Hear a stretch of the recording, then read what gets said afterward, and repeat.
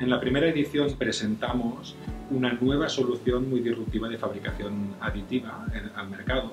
Y en esta segunda edición de Advanced Factories la verdad es que es un orgullo para nosotros no solo poder presentar el hecho de que hemos consolidado nuestro producto en el mercado en un segundo año, sino que además vamos a presentar nuevos productos, vamos a ampliar el portfolio, productos de más producción y también vamos a presentar productos de menos producción, más pensado en entornos de prototipaje, introduciendo el color.